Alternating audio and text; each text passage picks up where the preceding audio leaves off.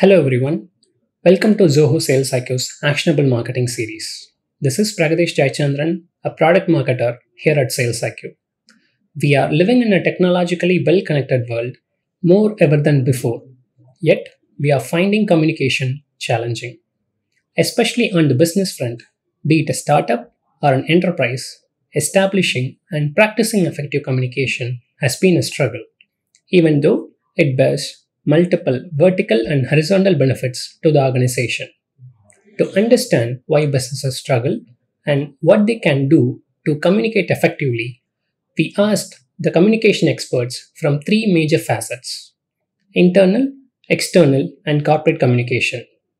Pooja Mittal, Manager AR Relations, Global Corporate Communication, Zoho, Prason Salvanayagam, Marketing Manager, Zoho Cliq, and Mathangi Kumar, Marketing Manager, Zoho Sales IQ, shared their thoughts on corporate, internal, and external communication, respectively. This session, Chaos to Cohesion, is a compilation of the discussion we had with the experts, and it is packed with actionable insights for you to implement right away and achieve effective communication to drive organizational growth. Let's jump in.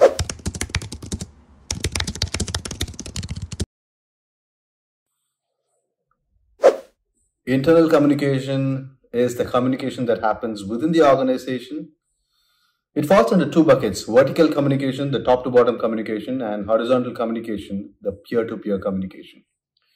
The whole idea of having a robust internal communication strategy is to make sure that no one is left behind and everyone in an organization gets the information that they are supposed to know.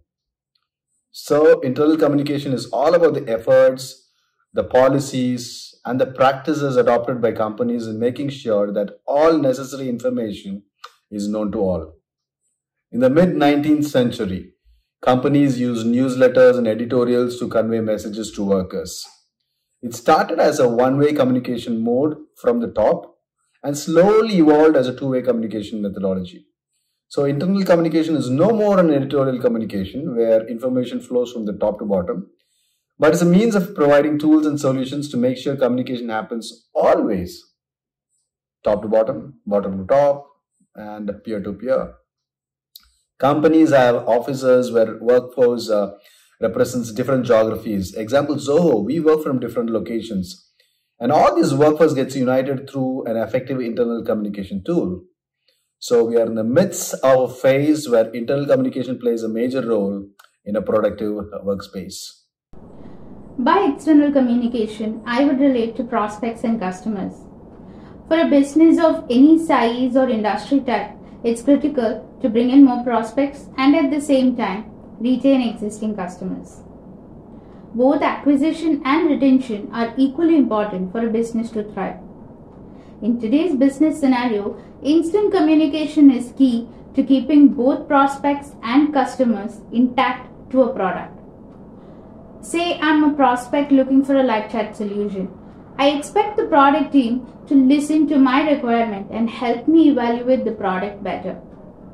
On the other hand, being an existing customer, I would need immediate assistance for an issue or a question that I have with respect to the product. In both these cases, instant communication is key. Users no longer have time or the patience to wait for emails and get their responses. Also, they prefer to be communicated in their preferred medium rather than going to a completely different channel just for this purpose. So, I would say providing instant communication support in a user's preferred channel or medium is a major change that I see in external communication. And adapting to this would help businesses grow and achieve their goals. Corporate communication um, evolved, I think, way back in the 12th century. And from then on, um, the early days of traditional media to today, I think things have drastically changed in the digital and the social landscape.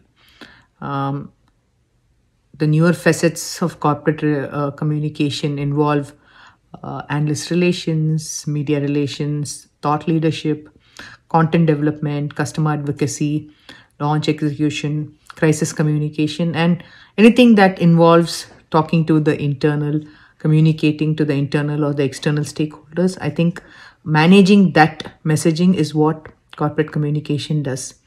So, if you see, simply put, I would say um, there can be communication happening in parts, but till all the ingredients come together, you don't get the pizza ready for you to eat.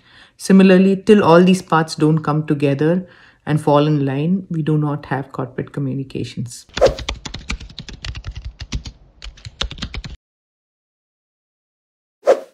The challenges organizations face when there are communication gaps.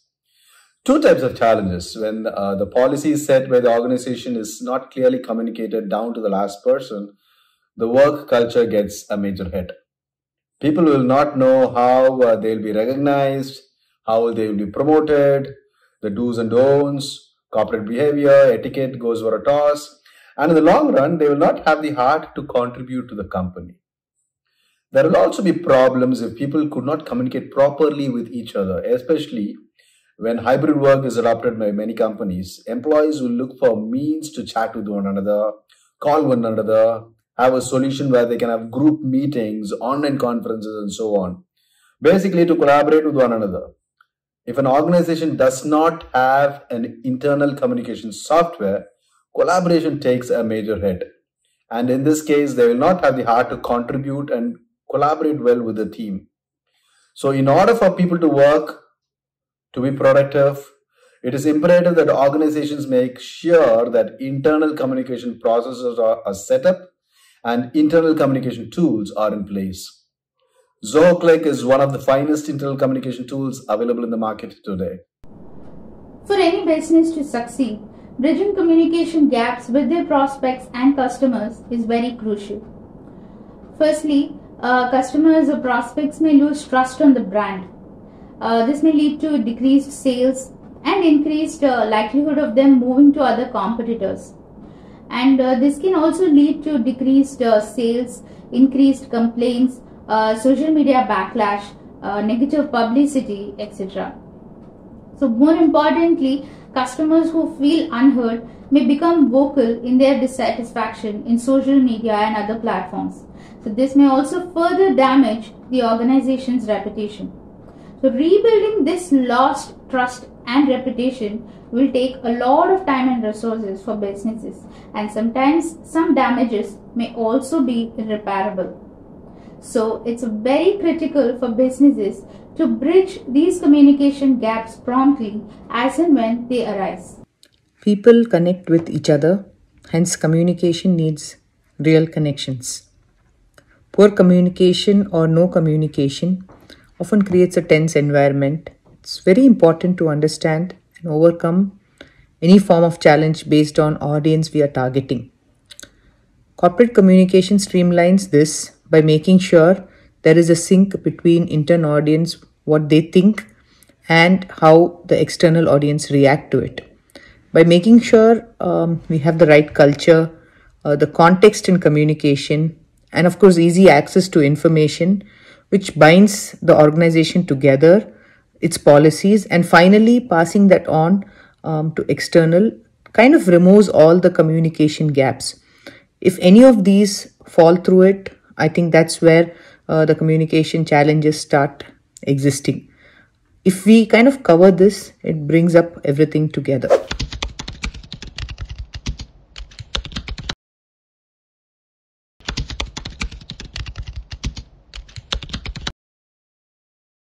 How can organizations turn chaotic environment into a cohesive environment? Organizations should have clear communication strategies when employees are onboarded. Communicate about the policies clearly to them. This will give them a sense of belonging to the organization that they work for. When work policies are not clearly defined, employees tend to work in ambiguity. At the same time, make sure that everyone in the team feel that they're heard if they feel that they are not heard, then they will have less drive and will start to distance themselves from contributing at work. Provide mechanisms for better collaboration. In ZohoCliq, every teamwork happens in a place called channels, where the entire team is present. Take, for example, marketing. For any marketing campaign, the entire team will know the steps, the plans, and the campaign name and when the campaign is executed. ZohoCliq is also, it helps you to chat, get on calls, have video meetings. And what I have found is when people from different locations communicate with each other through video calls or through audio calls, they tend to send and receive messages clearly. So ambiguity is thrown out of the window. Decisions are taken at a rapid rate and work gets done faster. Even for conflict management, employee one on one communication, appraisal meetings, feedback sessions, team meetings, ZohoCliq acts as an effective internal communication tool and collaboration happens like never before and it sets the tone for a positive work culture. Businesses can use customer engagement platforms like Zoho Sales IQ to bridge external communication gaps. Even at Zoho, marketing, sales, and support specialists across the 55 products like uh, Zoho CRM, Desk, Cliq, and Zoho One use Sales IQ for their everyday operations. So, one important feature that can help solve the communication issue we're discussing right now would be our bots. Uh, we have a codeless bot builder which is more or less like a drag and drop interface that can be built on any website, uh, mobile app or in any other social media platform like Instagram, uh, Facebook or uh, WhatsApp. So this saves a lot of manual effort and time and at the same time answering customer or prospect queries promptly. Additionally, uh, we also have an AI powered bot called the AnswerBot that can help answer redundant questions right from your own resource library. For more complex queries, uh, we have an inbuilt audio call and screen sharing feature that support specialists can use to resolve customer queries quite easily.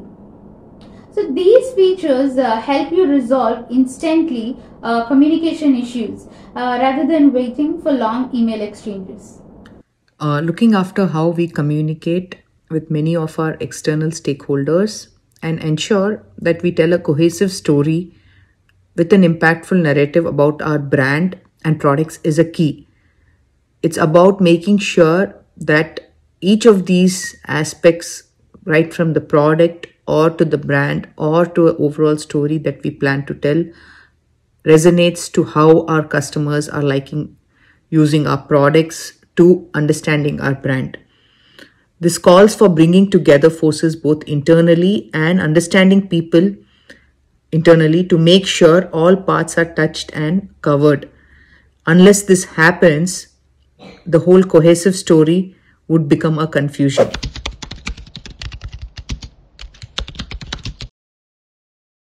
Impact of social media on communication strategies.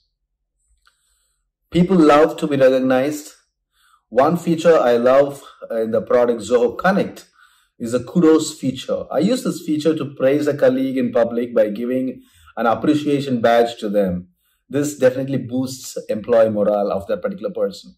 Praise in public and correct a person in private is my motto. And these two software apps, Connect and Cliq, has made it possible for me to implement these two ideologies easily. There are challenges in usage of social media with respect to internal communication because sometimes employees might end up sharing internal data or confidential information in public channels like their personal LinkedIn profiles or on Twitter. So it is imperative for organizations to draw the line that uh, acts as a leash on what could be shared and what shouldn't be. What I've personally seen is that when an employee is given a free hand to express themselves in social media and when they are matured, they will also start working well. Social media can also overwhelm employees with too much information and notifications, causing them to feel stressed or anxious. When the organizations that you represent is attacked by public on social media, it might stress the employees too. So, as a part of internal communication messaging, the employees need to be fed with information that will help them in reputation management and in their social media consumption too. Avoid uh, mental fatigue. The clearer the internal communication is and more transparent the work culture is, the employees will have better morale and there will be a voice for the company in social media. Otherwise, companies will end up getting bad ratings in workplace rating sites and be bashed by exiting employees on social media. In other words, the bad internal communication is the worse will be the work culture and the reputation of the company goes for a toss in social media. There are multiple advantages when it comes to social media for external communication. The first and foremost would be the reach. They allow for instant communication with a global audience, uh, reaching broader demographics. Second, uh, social media interactions enable real time engagement uh, with prospects and customers. It's more of a real time feedback and interaction session for businesses to better understand their audience. As I had mentioned while discussing the challenges, social media has become a platform for users to voice out their opinion or feedback about a product, be it good or bad. Businesses can use this in the right way to build a good reputation for themselves. Uh, it's also a cost effective way compared to paid advertising methods or uh, PRs. Similarly, like I mentioned, users want to be contacted in their preferred medium. Uh, businesses should be equipped to contact them through that medium rather than asking them to come to a completely different uh, uh, platform. Uh, say I'm a WhatsApp user, a product or a service that I use should be able to send me new deals, uh, product updates, or uh, answer any concern or question I have in that particular platform itself. Uh, businesses should understand and uh, be able to adapt to this change and uh, adjust their communication strategies accordingly. Many years ago, it was face to face communication that was known to be most impactful. It has evolved so much today, and the current wave of communication is social media. It really is ramping up. Simply put, I see content, creativity, conversation, and conversion as the few C's for social media strategy. Making sure that these C's are used in the right context, at the right time, and for the right audience really makes it impactful. It also is important that we know this and then we create a campaign around it.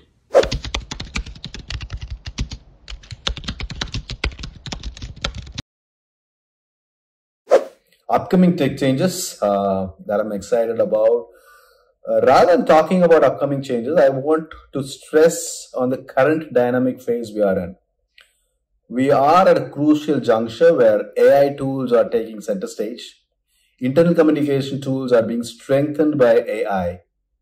Automation of work is the name of the game these days. Hard work is getting replaced by smart work. And life will get better for organizations that use an internal communication tool that incorporates the latest features in the market.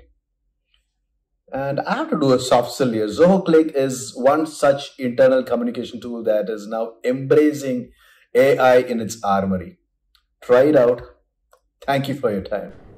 Two trends that uh, I look at are uh, personalization and, uh, of course, uh, AI and bots. So, personalized communication has become very important uh, businesses uh, should tailor their communication strategies uh, based on individual uh, interests and preferences. Uh, for example, uh, if I'm browsing for an electronic item in an e commerce website, the business should be able to send me recommendations or get me new deals on similar products. This will increase customer engagement and loyalty. The next one is, of course, chatbots. Uh, bots in websites and messaging apps have found to uh, offer uh, quicker customer support and uh, reduce MTTR. And with the holiday season approaching, businesses should make sure they're available to their customers round the clock, and bots can definitely give them a big helping hand. Methods or medium of communication may come and go, be it face to face or today's social media communication. I believe it's just a wave of change, but always the key here is to keep up with the change and making sure the intent, the target audience, and the message is clearly defined and also understood. Setting the right expectation and making sure the tools are defined, you know, for what kind of communication, how we need to go about is really important. once we have these ground rules set, it makes it much more um, easy and un- uh, simple to understand how this whole flow works. The more we start communicating, be it you know synchronously or asynchronously, be it internal or external stakeholders, I think the whole process gets better there. Hope everyone found the session helpful and actionable. When businesses look at the performance reports, rarely miscommunication gaps are factored in as one of the reasons for their highs and lows. But it is. The cost of poor communications report estimates miscommunication could cost around $400,000 per year for a firm with 100 employees and around $60 million per year for an enterprise. Our communication experts revealed what businesses should do to bridge this communication gap and the tools you'd need. We highly recommend you to implement them right away and drive organizational growth. Thank you for joining us.